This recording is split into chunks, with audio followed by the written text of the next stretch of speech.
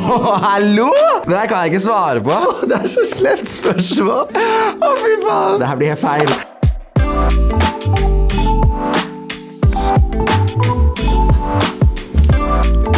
Hallo.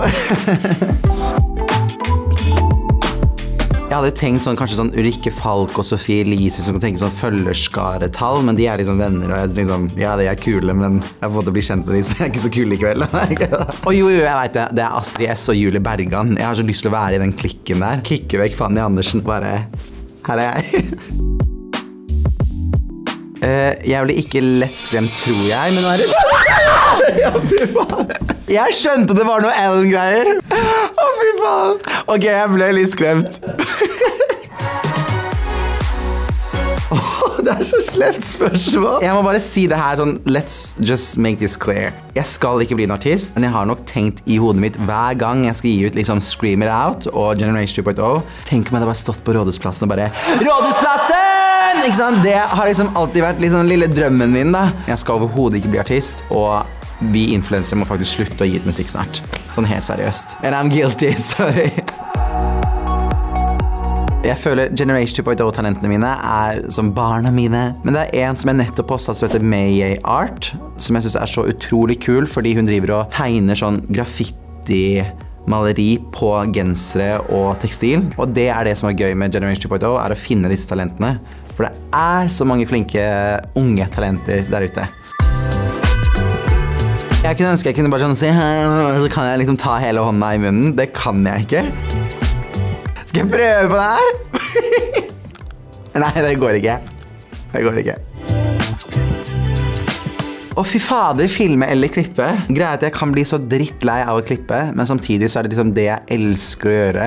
Men så elsker jeg å filme og være ute i feltet og gjøre ting. Men jeg må si at klippe er det jeg elsker mest å gjøre, fordi det er det som er mitt talent. Sweatshop eller Wotherhood. Sweatshop er nok garantert det som gjorde at jeg fikk til alle disse produksjonene. Så Sweatshop må jeg da si fordi det ble en så stor suksess, og at vi fikk virkelig satt tekstilindustrien på dagsorden. Men Motherhood også. Fy søren, jeg er solgt av disse seriene. Åh, hallo! Det kan jeg ikke svare på. Men hvis jeg skal svare på det, så er det at jeg har hengt så sykt lite med Sofie fordi hun er så busy, og jeg er så busy.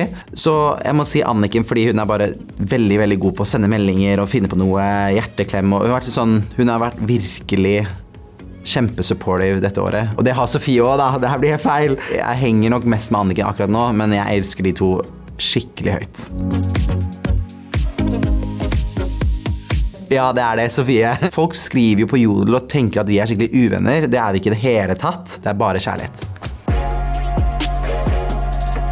Det her er ikke meningen å høres så politisk korrekt ut. Jeg får faktisk veldig mye meldinger på Instagram av enten gutter eller jenter som har følt at de er interessert i det samme kjønn. Og da prøver jeg å svare dem at det, det er helt normalt å kunne være forelsket i det samme kjønn. Så jeg kjenner ikke mange, men jeg føler jeg har snakket med veldig mange om det å kunne tørre å komme ut av skapet. Altså Man kan si mye om influensere, men at man faktisk kan ha den påvirkningen på noen, det er, gjør hele jobben verdt det. Jeg er verifisert bloggervennen. Altså, Jeg har sneket meg i alle bloggerne-episodene. Vet dere hvordan dere gjør det? Det er rett og slett bare å være hyggelig og snill. Veldig mange tenker at man skal alltid opp og fram, og her er jeg. Alle elsker å snakke om en selv, så hvis vi bare begynner å snakke med de om ting, så blir du godt likt fort. Jeg tror det er liksom mitt største tips. Veldig hemmelig. Altså, Alle bloggere sier sånn 'Hemmelig prosjekt!' Men swipe opp for å se at jeg er på vei til det møtet. Det er sånn, åh, det gidder jeg ikke. Jeg eh, jobber nå veldig i startfasen med å pushe på å skape en video som handler om en rettferdig klesindustri. Som jeg håper dere får med dere i starten av 2020. Min ultimate YouTuber-BFF, nemlig Sara Høydahl. Herregud, som jeg elsker den jenta der. Tenk at hun bare er 19 år gammel.